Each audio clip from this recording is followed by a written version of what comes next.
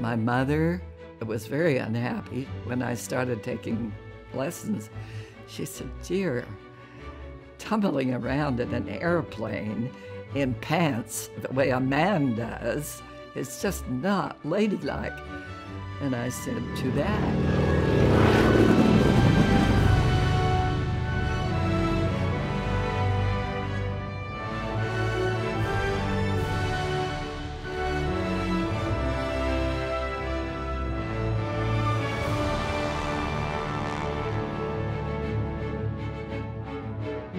We did every job, every mission that the male pilots did except one, and that was combat. We did everything else.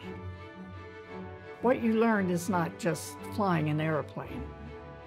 What you learn is how to live, how to anticipate. You're never satisfied with status quo. You're always looking forward.